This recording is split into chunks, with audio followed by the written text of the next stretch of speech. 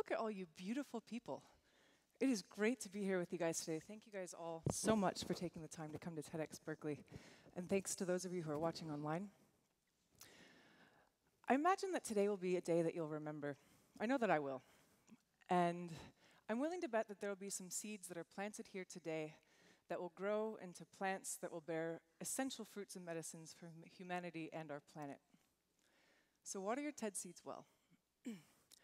Speaking of plants and the planet, can I get a show of hands for how many people in the audience have heard of biochar before? Cool. Give a little wave. Hi, everyone. now, biochar to me is a story of how I came to live into one of my favorite quotes of all time. Work is love made visible.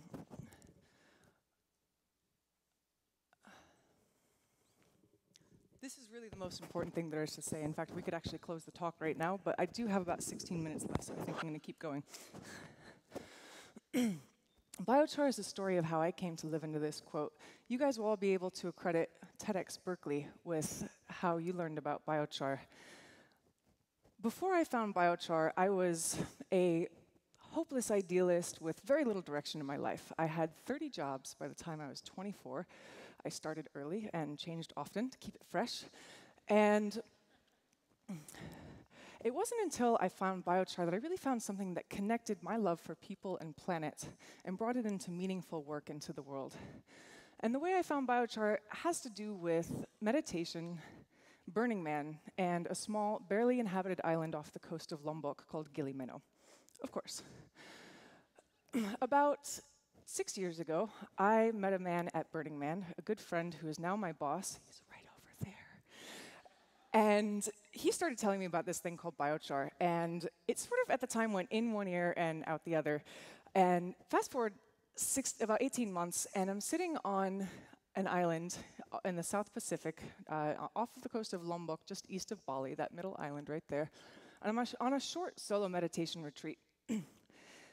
and I'm meditating there. I've got ants crawling on me, and I'm trying to pretend that I'm that good of a meditator that I actually just don't even notice, right? So I'm sitting there, sort of like, it's all one.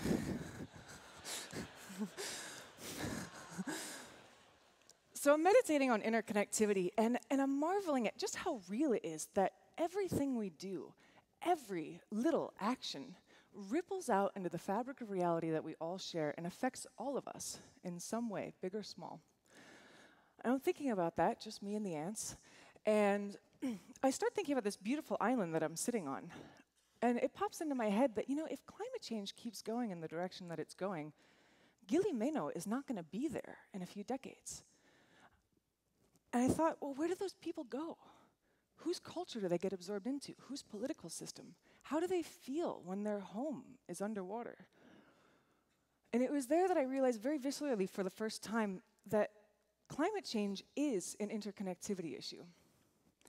It is our planetary system sounding a loud alarm to wake up and smell the interconnectivity coffee.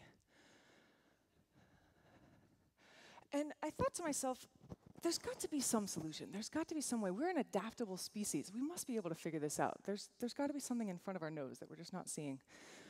And I remembered something that I had learned in permaculture, which states that the solution is contained within the problem. Basically, if you look at the pieces of the puzzle that make up the problem, the pieces of the puzzle that make up the solution become self evident. And so I thought to myself, well, what is the problem? The problem, very simply put, is that we're putting too much carbon in the atmosphere. Well, where are we getting the carbon? We're mining it from the ground uh, in the form of coal and other fossil fuels that we're using for our energy.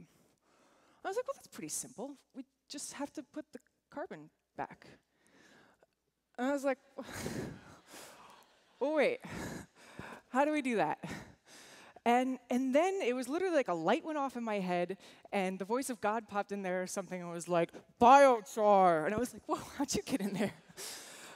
And all the things that my friend from Burning Man had been telling me for the last 18 months started to sink back in into this one simple concept.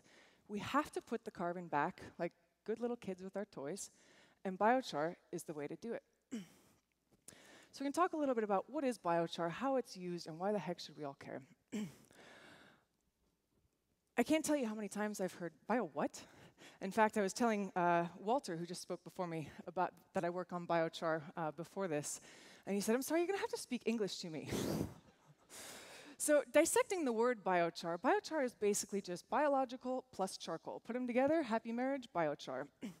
biochar is charcoal that's added to soil, and when you add biochar to soil, it sequesters carbon for on the order of a thousand years. If you had asked me 10 years ago how much I care about pyrolysis, I would have at least given you a blank stare and possibly thrown my drink in your face. now I care a lot about pyrolysis because pyrolysis is how biochar comes into being, and biochar is what I have, for the time being, dedicated my life to. Pyrolysis is basically biomass plus heat minus oxygen, and you're left with a very stable form of carbon that's excellent for soils. And so, where does all this biomass come from? I used to worry about this, and then I started to realize that I tend to be very disconnected from where my food comes from and where the things are that, that I use. And I thought about, you know, I, I buy canned peaches from the store, they have no pits. Where do those pits go? Or how about the coconut shells from my coconut oil? Or the peanut shells from, from my peanut butter? Or the deluxe roasted salted mixed nuts? Mm.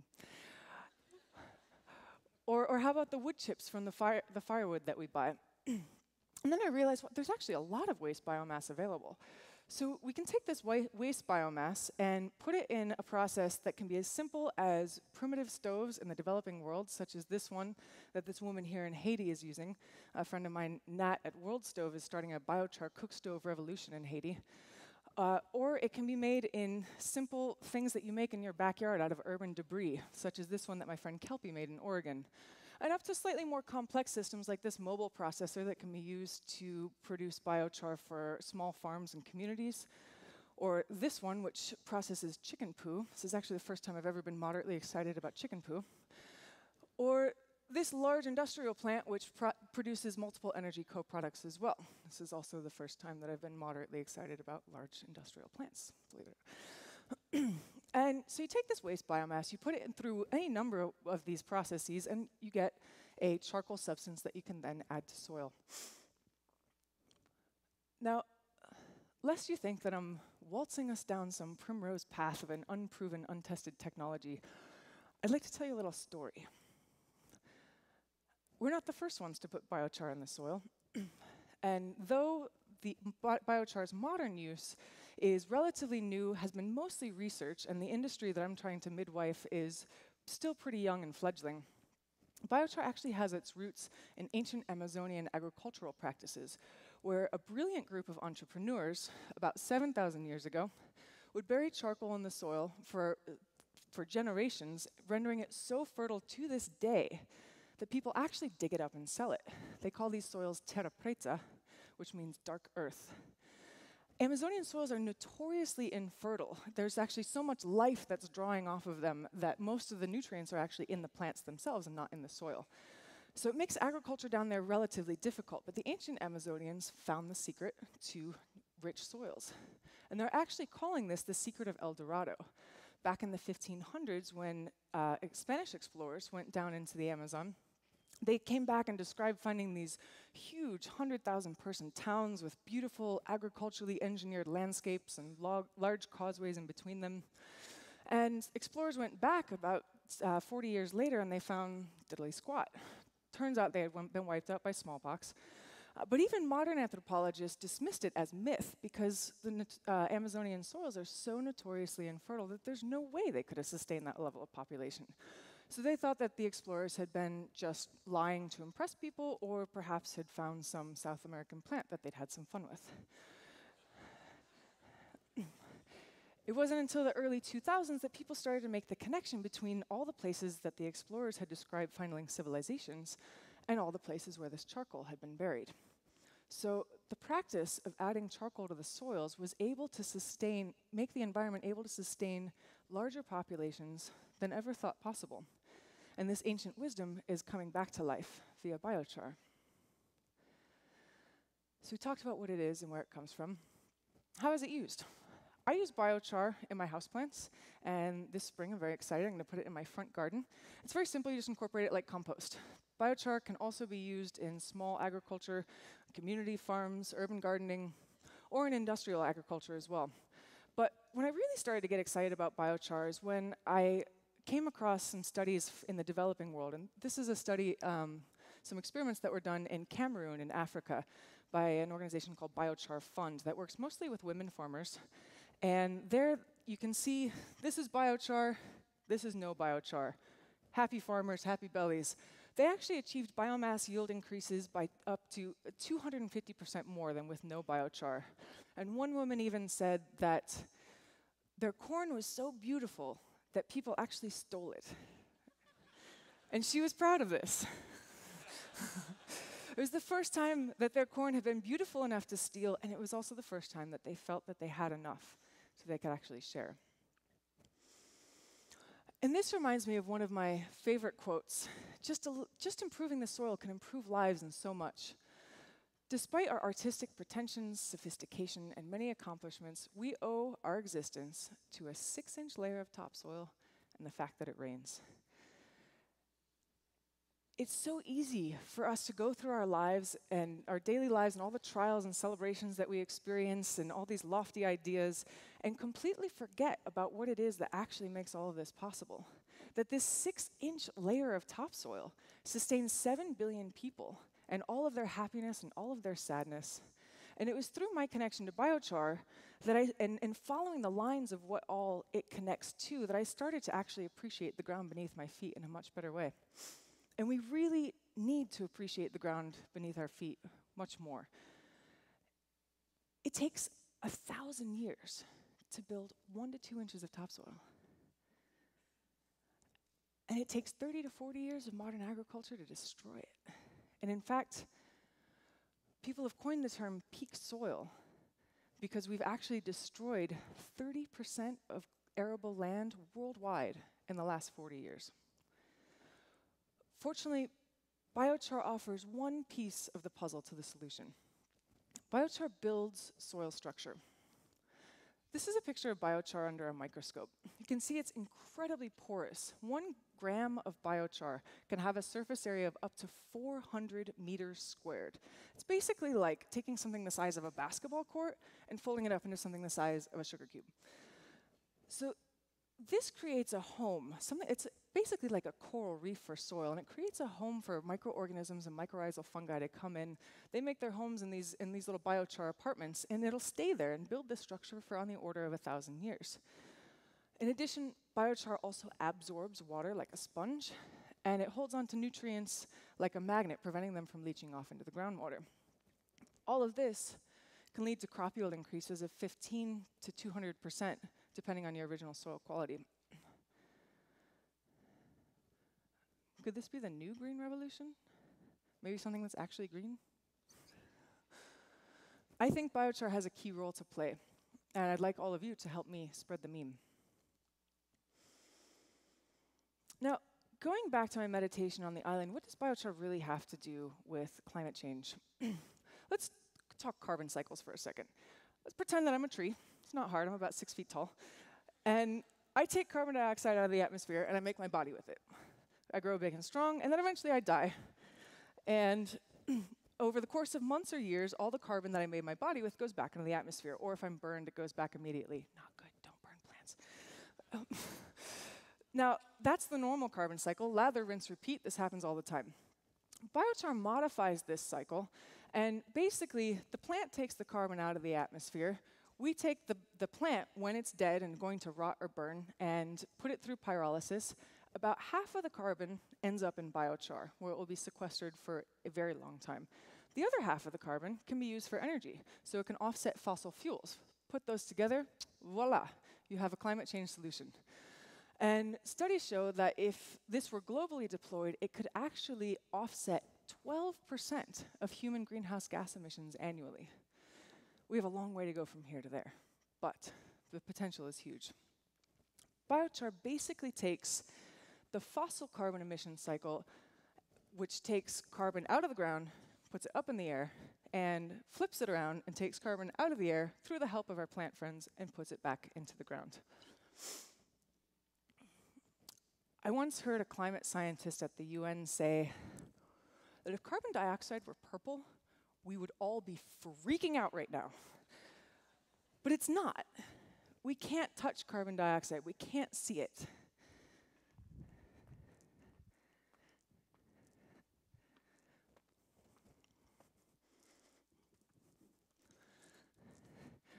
But this carbon is black.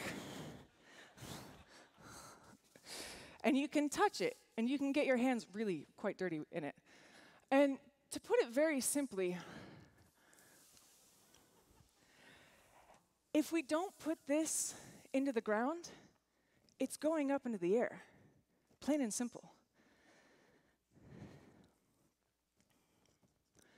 One ton of biochar is equal to the equivalent of about three tons of carbon dioxide, sequestered for on the order of a thousand years. When I originally started to prepare this talk, I spent a lot of time looking at statistics for all of the issues that you see up here climate change, energy, soil fertility, food security, desertification. And you know what? I got really depressed. And I remembered back to 10 years ago when I would hear all this bad news about climate change, and really all I felt that I could do was email my politicians, and then what? I felt sort of helpless beyond that. And I realized that that's not the story I want to tell to you guys today. I'll leave the bad news to NPR. I'd rather be a solutionary than a problem, problemarian.